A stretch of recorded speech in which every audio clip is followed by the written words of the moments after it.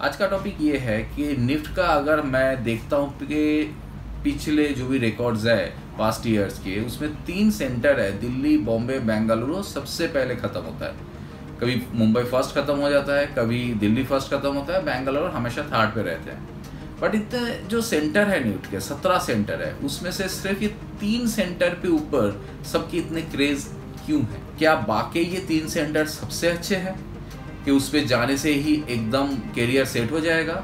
या ये सिर्फ़ एक कॉल्स कॉन्सेप्ट है माइंडसेट है?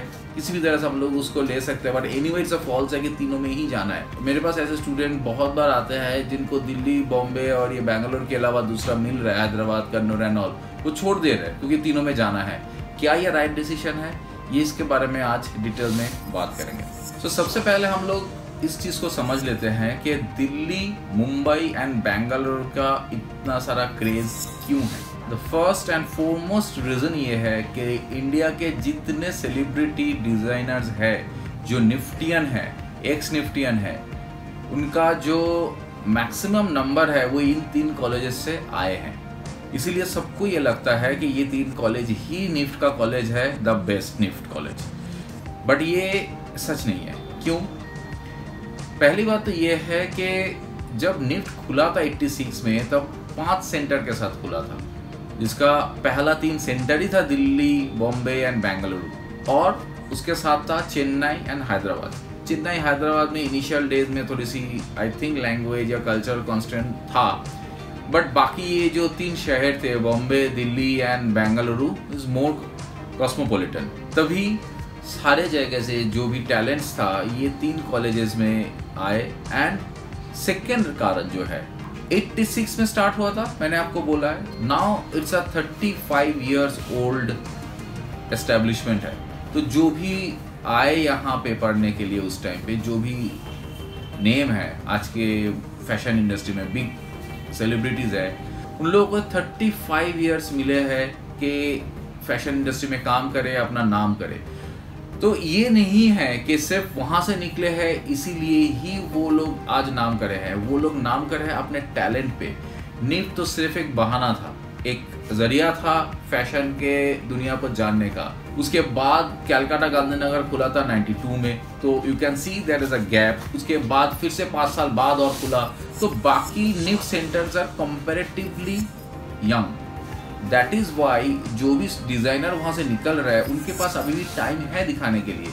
But this is just a matter of time इस पे किसी की टैलेंट पे कोई इफ़ेक्ट नहीं हो रहा है। ना टीचिंग प्रैक्टिस में, ना बाकी चीज़ों में। अब दूसरा एक कारण। जिस टाइम पे जब आप 86 की बात कर रहे हो, आपको एक समझ में आएगा कि 86 इज़ नॉट अ टाइम जब बहुत ग्लोबलाइज था। हम लोग के हाथ में स्मार्टफ़ोन नहीं थे लैपटॉप और इतने इंटरनेट का दुनिया नहीं था। काफ़ी सारी चीज़ें प्रैक्टिकल ट्रैवल प्रैक्टिकल एग्जिस्टेंस पे डिपेंड करता था। ये मैं क्यों बोल रहा हूँ? क्योंकि उस टाइम पे शायद मुंबई थोड़ा सा जो फ़ैशन हब है film industry and all rise कर रहा वहाँ पे लोगों को काम करने के लिए आसान हुआ था। सो so, कुछ एडवांटेज उस टाइम पे था बट आज ये पूरे जो स्मार्टफ़ोन की दुनिया है ये जो इंटरनेट का जनरेशन है इसमें ये वाला एडवांटेज बहुत ज़्यादा एडवांटेज और रहा नहीं गया। दिल्ली एज बिकॉज़ नीट का मेन सेंटर था शुरू से तो जो एक्सपीरियंस फैकल्टी थे वो दिल्ली में थे उस टाइम पे। बट वो लोग भी 35 ईयर्स हुआ है ना तो वो लोग भी रिटायर कर रहे हैं। सो so, अभी जो फैकल्टी है that also balanced and same thing with Bangalore थोड़ा सा जो भी लोकल लोग थे वहाँ पे जो इंडस्ट्री है अदर साउथ के एंड ऑल वो इंडस्ट्री के लिए लोग पहुँचते थे वहाँ पे। बट ये सब चीज़ उस टाइम के लिए मायने रखता था जिस टाइम पे ये जो कम्युनिकेशन है इतना एडवांस कम्युनिकेशन नहीं था ऐसे इंस्टाग्राम नहीं था। अभी इंस्टाग्राम के पोस्टिंग से लोगों को हॉलीवुड पे भी काम मिल जाता है तो ज़रूरी नहीं है कि वो कहाँ पे है कौन से जगह पे बैठ के सीख रहा है। इंपॉर्टेंट आज सबसे ज़्यादा हो गया है कि तुम क्या कर रहे हो क्या दिखा रहे हो। बिकॉज़ जो इंटरनेट तुमको लोगों से कनेक्ट किया है वही इंटरनेट बहुत लोगों को एक साथ कनेक्ट कर दिया है। सो so, कंपटीशन बड़ा है। So the main criteria main focus should be your own talent, understand and perception, not the centers. So, अभी एक चीज़ समझना ज़रूरी है, जो 17 निफ्ट है right now across the NIFT जो इनके वे ऑफ़ स्टडीज़ है, वो बिल्कुल इक्वल है।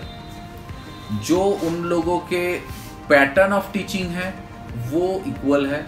इवन द इंफ्रास्ट्रक्चर है, वो भी इक्वल है। मतलब अगर मतलब अगर बहुत ग्राउंड लेवल पे मैं एग्जांपल दूँ कि अगर निफ्ट दिल्ली में तेरह सिलाई मशीन है तो निफ्ट कन्नौर पे भी तेरह सिलाई मशीन है।